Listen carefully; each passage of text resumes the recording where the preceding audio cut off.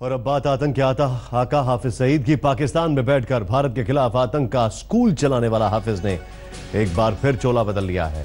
जमात उद्दावा का सरगना ने अब नए नाम से आतंकी संगठन खोल दिया है। संगठन का नया नाम है मुताहिदा तालिबा महाज।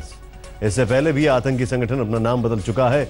11 सितंबर 2001 में अमेरिका पर हुए हमले के बाद अमेरिका ने लश्कर तैयबा को विदेशी आतंकी संगठन घोषित किया था। 2002 में पाकिस्तानी सरकार ने भी लश्कर का प्रतिबंध लगा दिया।